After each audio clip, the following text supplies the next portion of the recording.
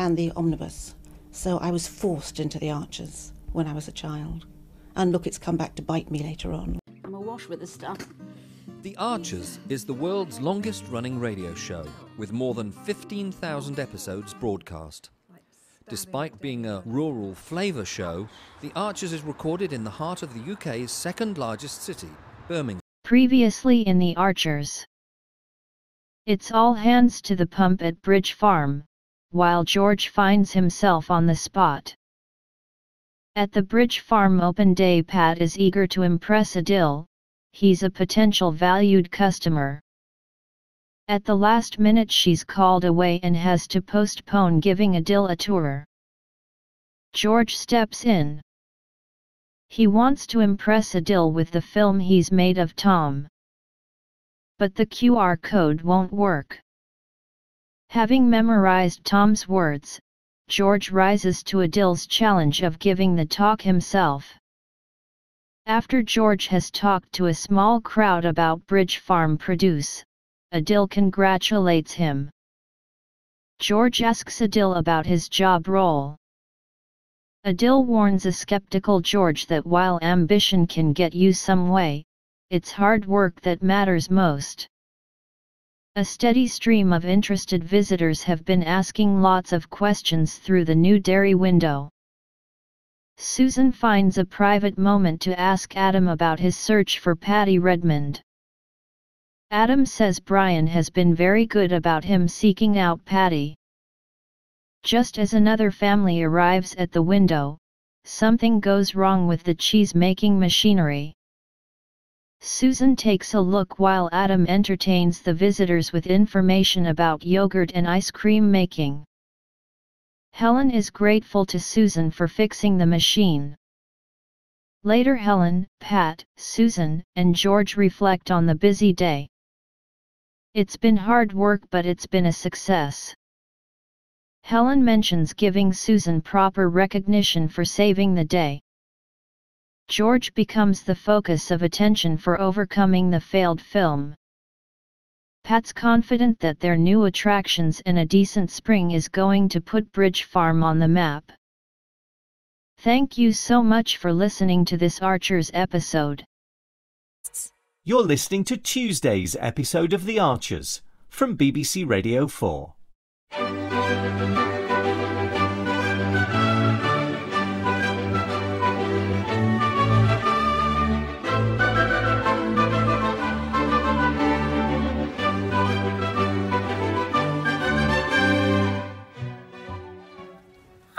Afternoon, Lee. Hey, Susan. It's a lovely day again. Oh, gorgeous. It's not often we get a sunny spell for the school holidays. Is this everything? Can't interest you in any of our Easter specials to take home for the boys? Simnel cake, hot cross buns. Uh, no thanks, just the washing powder and the beans for now. Have you heard from Helen?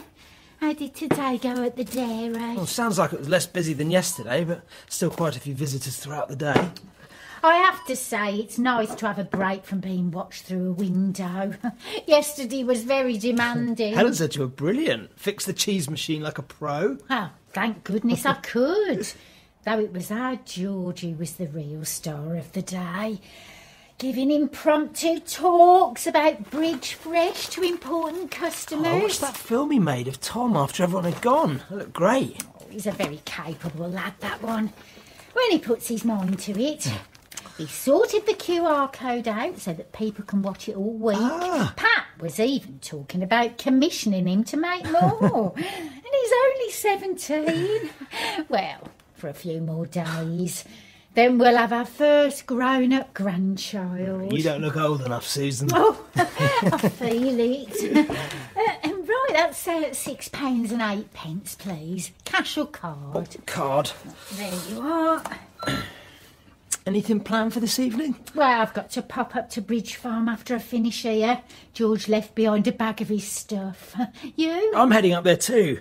Helen just sent me a mysterious text. Oh, yes. Apparently, they've got a surprise waiting for me. Ah, well, have a lovely evening, Lee. And I hope it's a nice surprise.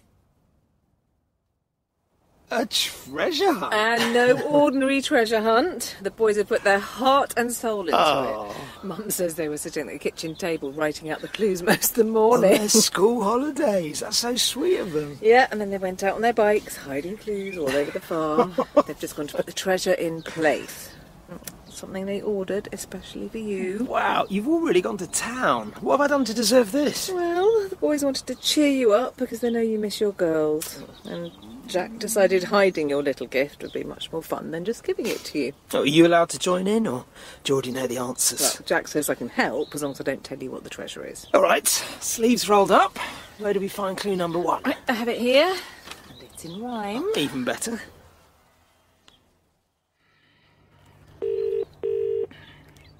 Hi, this is Alice. Sorry I'm not available to speak right now, but just leave your message. Dad,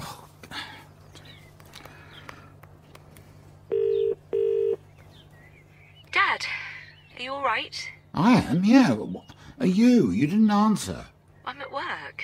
I rang three times. I know, but I was busy. Is everything okay? I was ringing to find out how you are. Both Adam and Kate said you hadn't returned their calls. Dad, I'm fine. I'm just. I'm full on. Look, I need to get back to it. You're too busy to pop into Blossom Hill Cottage on your way home? Probably. I know Chris has Martha tonight, Neil told me. Just because I don't have Martha doesn't mean I'm free and easy. Have to catch up on admin, housework, get some meals in the freezer for the rest of the week. All right, look, just come round for half an hour. Be good to see you, Alice. You, le- you left in such a hurry on Sunday. I didn't. What time can I expect you? I'll have some coffee ready. I don't know, Dad. I'll see what time I get finished here. I found it. Oh, Oh, makes perfect sense now. Don't retreat, you're not beat, don't be burned, leave no stone unturned. Under a stone in the veg field. it's taken us nearly half an hour to do one clue. Well, we got there in the end. Even the boys got bored and had no qualms about cycling off and abandoning us to their weird and impenetrable rhymes. But if all the clues are like this, we'll still be here in a week's time. I won't have any defeatists on my team. Onwards. Aye, aye, Captain. So, read out the next clue. There was an old farmer called Tom who had his wellies on. He's not that young, but he's not that old, and this is not even the way. Does that even rhyme? I'm not sure Tom would describe himself as an old farmer. I don't even understand the clue.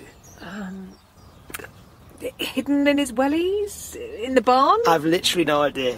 Hang on a minute. If I were to tell you that I know roughly where one of the final clues is hidden, how would you feel about skipping ahead? You mean cheating? I mean using all of our cunning to get to the treasure. Surely the boys would expect nothing less of us. I don't know. All their hard work. At this rate, I'm not joking, we'll be here until well after dark. No supper. Jack tired and cranky. Me tired and cranky. Okay, okay, you've worn me down. Cheating it is. Come on in. The kettle's on. You, you want coffee? Uh, no thanks. I can't stay. I'm having one. It's no trouble. How was work? Uh, yeah, good. Busy, but fine. So it's a nice distraction. From what? Or from whatever's going on.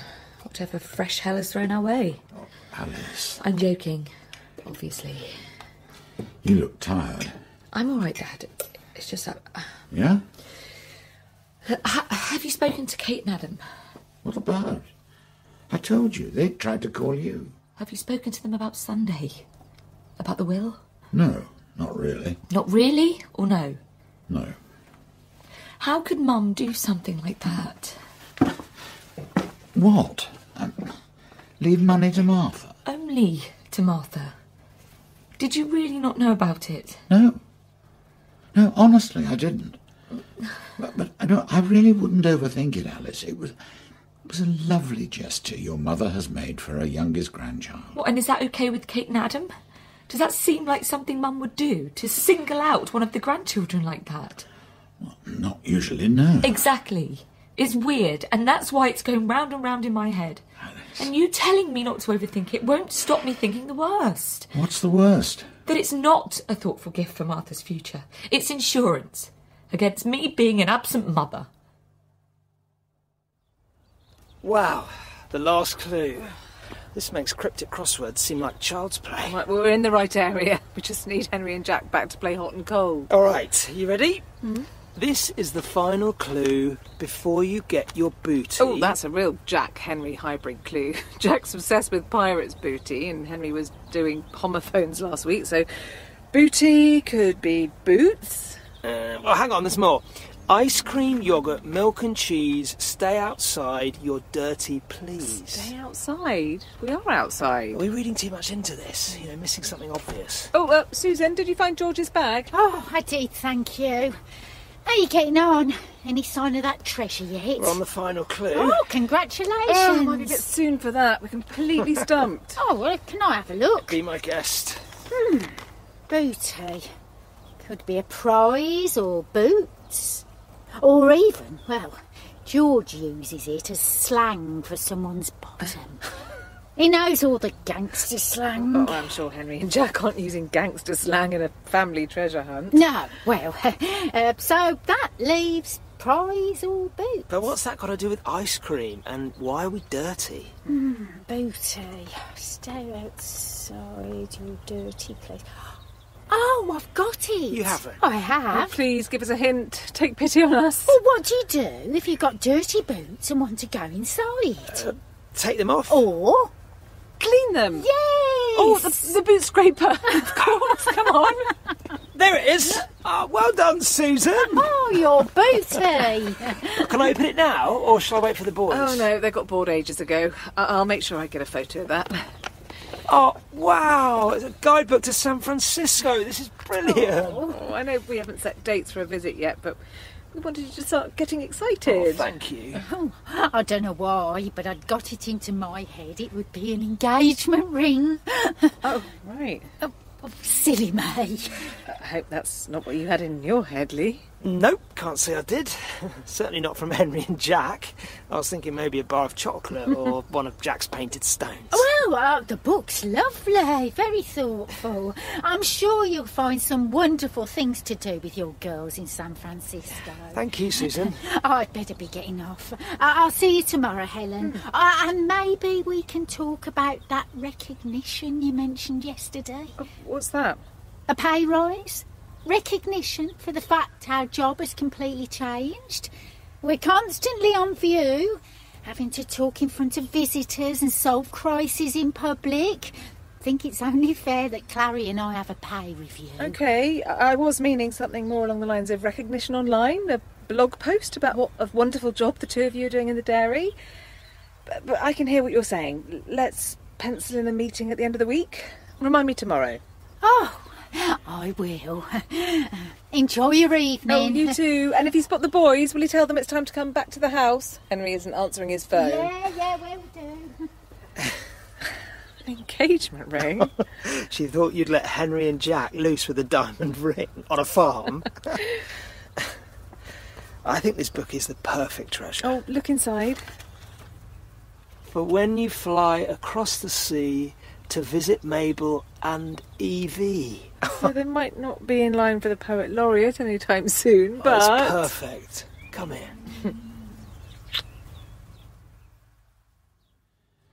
S- sit down, Alice. Come on. No, no, I can't. Nothing you've said makes any difference. And that's not your fault. That there is no way of making it better. But you're only seeing things through a very narrow view, Alice. But I can see the whole picture. Your mother loved you and was full of admiration for what you've achieved. We often talked about how strong you are. Yeah, but she obviously didn't believe I was strong enough. She didn't really trust me, not as a mother to Martha. Jenny always understood the illness better than me. I mean, she helped me really see that alcoholism isn't something to be cured or conquered. Takes a lifetime of hard work to keep it under control. But I am sober. I got sober. She saw me. Yes, yes, she did, and she was so proud of me. And Lisa said when, when I was struggling so much after Mum died, that was my comfort. Lisa said I'd given Mum the gift of a sober daughter. You did. But I didn't, because she didn't believe it. Not deep down where it mattered. Not, not when it came to Martha. All right, all right, The money, Alice. Jenny knew she wasn't going to be here to see Martha grow up. And this was a gesture, a small gift of security for her granddaughter. That she left in trust with Chris. Dad, can't you see how that looks? There is no other way to understand it. She was afraid for Martha. And she didn't trust me. Oh, Alice. I don't know what to say. I mean, only that your mother had nothing but love for you. And a belief in your recovery that was impossible to shake, even when you didn't believe in it yourself.